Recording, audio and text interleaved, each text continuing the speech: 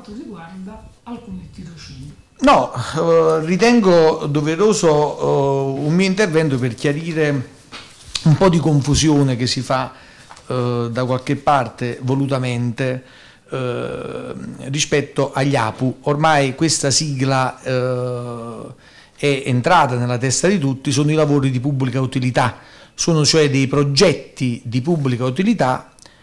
che vengono finanziati dalla Regione eh, vengono mh, indennizzati questi lavoratori con un importo di 580 euro al mese, insomma, per sei mesi,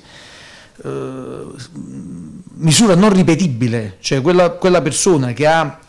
eh, usufruito della possibilità di essere stato inserito in un progetto di pubblica utilità per sei mesi non lo potrà fare una seconda volta l'anno successivo. Credevo che questo tipo di chiarimento non fosse necessario eh, perché già in passato insomma, ho eh, dato informazione dell'esistenza di questa misura importante, sono misure di sostegno al reddito, eh, però poi siccome sento eh, dire in giro, ho letto dire in giro che eh, in alcuni comuni eh, le persone che sono state inserite in questi progetti di pubblica utilità avrebbero, tra virgolette, preso il posto sul comune, sarebbero stati assunti sul comune, eh, e beh voglio dire che così non è, eh, non ci sono assunzioni, sono, vi ripeto, dei tirocini formativi temporanei che durano solo sei mesi, non sono più ripetibili, non sono contratti di assunzione, che vengono pagati dalla regione direttamente con 580 euro al mese. La finalità di questi tirocini è quella di recuperare al mondo del lavoro e di orientare nel mondo del lavoro quei lavoratori che non lavorano più da un sacco di tempo, cioè soggetti disoccupati oggi che hanno percepito una indennità di sostegno al reddito tra il 2014 e il 2017. So, indennità di sostegno al reddito che non devono essere attive, ovviamente che devono essere eh, spirate nel momento in cui eh, il soggetto si candida ad essere inserito in un progetto di pubblica utilità. Chi ha diritto a questa... Perfetto, e, e la ringrazio della, della, della, seconda domanda, perché anche su questo eh, da qualche parte è capitato che eh, il, il, nipote di terzo grado di un consigliere comunale o la sorella insomma, di un assessore eh, è rientrata, sorella che magari non abita con questo assessore da vent'anni, insomma hanno proprio famiglie distinte e separate, è rientrata positivamente in una selezione e quindi si è gridati allo scandalo. Eh, la norma regionale non prevede nessun tipo di incompatibilità, nel senso che tutti possono accedere, tutti, dico tutti, possono accedere a questa possibilità, cioè possono essere inseriti in un progetto di pubblica utilità a condizione che, lo ripeto, siano soggetti disoccupati oggi che abbiano percepito quella che in gergo viene definita l'indennità di disoccupazione, l'indennità di sostegno al reddito tra il 2014 e il 2017. Non c'è limite di età, soprattutto questa possibilità è nei limiti del contingente di posti assegnati al comune, di posti intendo di caselle. E anche questo contingente è rigidamente predeterminato dalla regione, cioè la regione ti dice per i comuni fino a 5.000 abitanti eh, possono avere assegnati 15 lavoratori di pubblica utilità, da 5.000 a 30.000 25, da 30.000 a 50.000 30, da 50.000 a 100.000 50. Allora, un comune che ha una densità demografica che va dai 5.000 ai 30.000 fa la domanda alla regione, la regione gli assegna un progetto di pubblica utilità che il, il comune deve portare a termine entro sei mesi con 25 operatori, vi ripeto, che non vengono assunti, non vengono contrattualizzati, partecipino a questo progetto che è solamente un tirocinio formativo. Dopodiché il comune che cosa fa e che cosa ha fatto? Pubblica un avviso, lo pubblica con uh, un manifesto e lo mette sul sito regionale, con il quale avvisa tutti quanti quelli che sono in possesso di questi requisiti, e vi ripeto, la parentela non è causa di incompatibilità in nessuna direzione,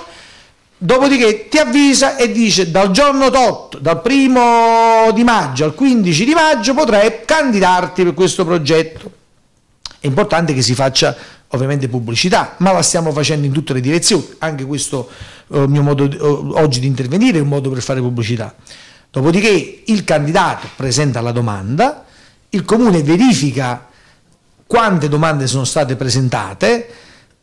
se le domande sono inferiori alla richiesta, ne chiedo 25, partecipano 14, come è accaduto in tante parti, a Mondragone per esempio, hanno partecipato meno delle persone che sono state richieste, hanno partecipato su 25 richieste, ad una prima pubblicazione ha partecipato solo uno, ad una seconda pubblicazione hanno partecipato 22, poi 4 sono stati esclusi, 4 hanno rinunciato e sono diventate 13. Adesso sta per essere pubblicato un nuovo bando a Mondragone dove il comune ha bisogno di altre 13 figure. Quindi questo è il dato essenziale. Dopodiché si partecipa, se i partecipanti sono inferiori al numero del contingente assegnato, vengono eh, reclutati quelli che hanno partecipato previa verifica dei requisiti, che sono quelli che ho detto prima.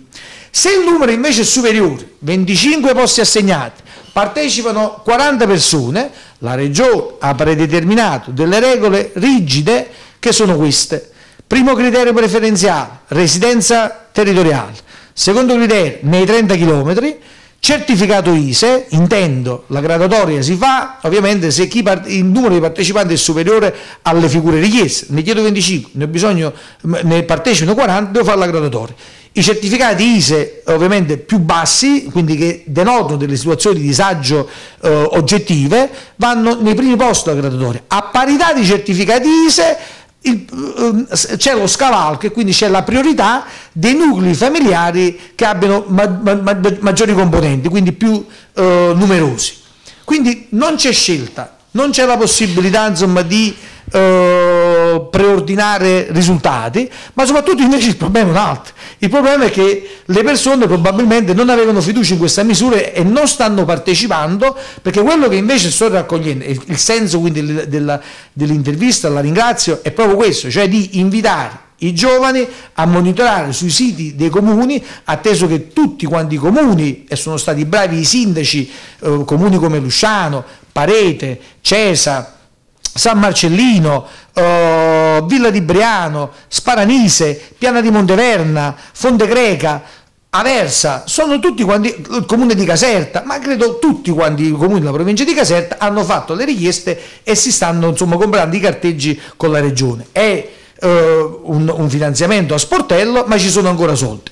Eh, quindi i comuni eh, presentano le richieste, ma i candidati sono inferiori alle disponibilità dei comuni. I comuni che succede? Che nel momento in cui partecipano meno, i posti vacanti li devono rimettere in pubblicazione, cosa che stanno per fare tanti comuni, tra cui Mondragone, che tra poco pubblicherà un avviso per, altri 13, per altre 13 figure. Un ulteriore fatto importante che voglio dire è che oltre ai comuni anche le scuole possono presentare progetti, possono vedersi riconosciuti progetti di pubblica utilità ehm, nel, nello stesso numero, nello stesso contingente ecco, dell'ente comunale. Cioè si segue la regola della densità demografica della città in cui ha il domicilio, la sede legale la scuola, l'istituto intendo autonomia scolastica, quindi ad esempio nel comune di eh, Lusciano, che ha 14-15 mila abitanti, eh, il dirigente scolastico se fa la richiesta di vedersi assegnate APO avrà 25 figure che si sommano alle 25 figure che vengono reclutati temporaneamente dal comune. Quindi l'invito è anche alle direzioni scolastiche insomma, ad attivarsi in questa direzione, c'è ancora capienza economica. Eh, Mondragone per esempio, oltre ai 13 che sta per, è un'informazione, ma mh, ci saranno manifesti, ci sarà il resto, oltre ai 13 che sta per ripubblicare il comune, eh, se ne attendono altri 7 al liceo scientifico ed altri 25 allo Stefanelli, per un totale di 45 opportunità che stanno per essere pubblicate. Un'altra cosa importante è Garanzia Giovani, riparte Garanzia Giovani, stati, vi invito a guardare il BURC perché sono stati decretati ulteriori ammissioni insomma, a quest'altra misura, mentre il lavoro di autori di pubblico utilità, gli APU, è un orientamento formativo per il lavoratore, Invece il Garanzia Giovani è un orientamento lavorativo, un, un, un, un orientamento per il giovane che è eh, disoccupato, che non studia e che quindi vuole avere un percorso formativo sul, sulle scelte da fare eh, anche in termini di studio all'indomani di questo tirocinio. Eh, guardate sul, sul, sul book della regione perché proprio recentemente c'è stato eh, un, un, importante decreto con il quale è stata sbloccata la fase di stallo di garanzia giovani e mh, ci sono davvero molte eh, novità che vi invito di andare insomma, a verificare.